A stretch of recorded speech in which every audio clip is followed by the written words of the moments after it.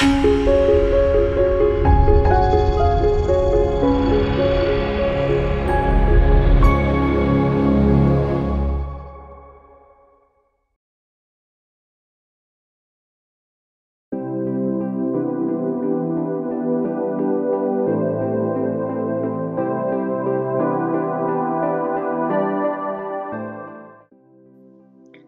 everyone, here and I am the designer of the Faith Impressions line for gel press. Today I'm going to show you a super fun technique if you've never used alcohol inks on your gel press plate. They are magnificent, they make beautiful prints um, and what's great is they're permanent because they're alcohol inks obviously um, and so you'll be able to do all sorts of more layering and that kind of fun stuff on top of it um, so sit back, relax, and enjoy this little technique, and I will see you on the flip side.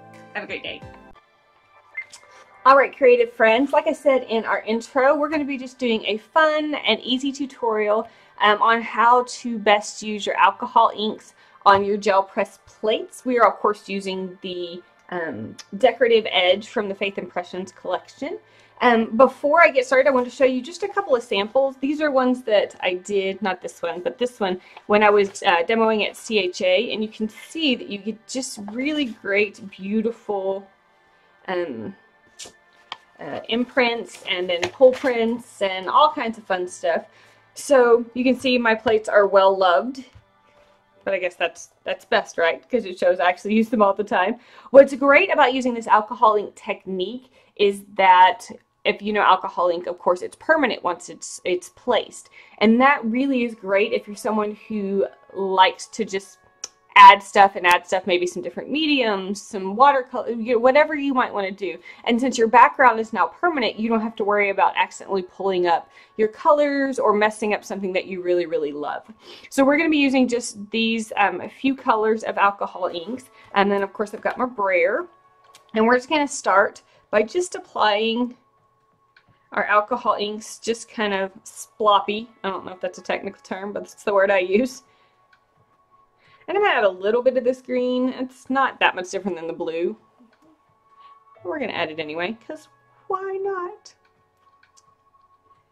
And you know, if you've ever worked with alcohol inks, they do tend to dry really fast, which is great because it allows you to move through this process faster. And what you don't want to do at this point is take your brayer and just completely steamroll it because what that's going to do is it's going to blend all those colors too much and it's going to end up with mud. So we're going to do what I lovingly refer to as the roll and tap or the tap and roll actually. So you can see I'm just kind of lightly dabbing, but then pushing the paint around a little bit. Um, it doesn't have to be, we kind of want some space, and you'll see why on our next step.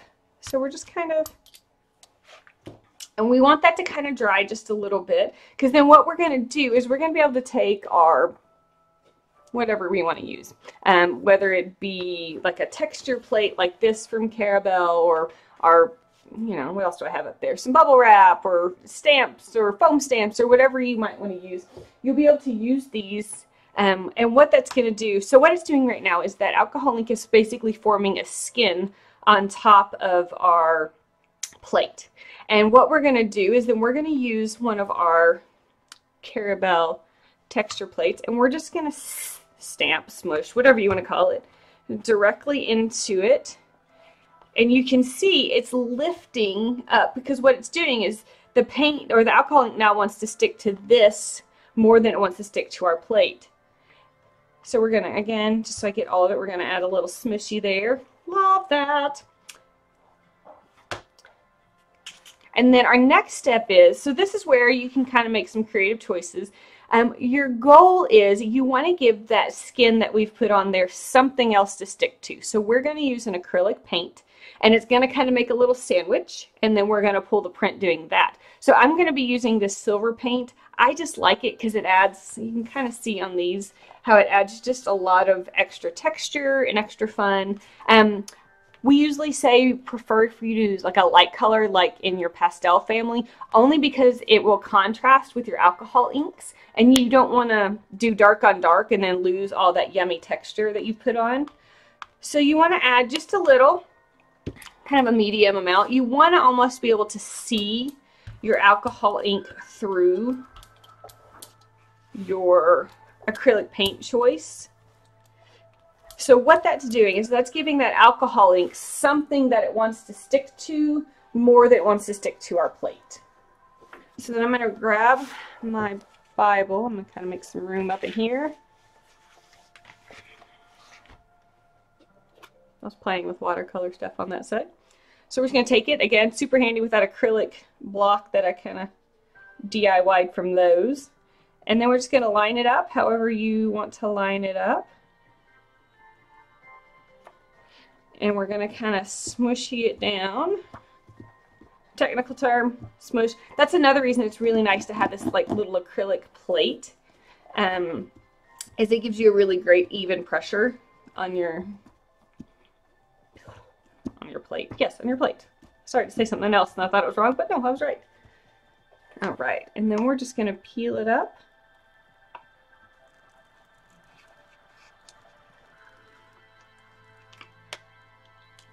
I love it! And you can see we've got, I'm going to take this off so you can kind of see it a little bit better.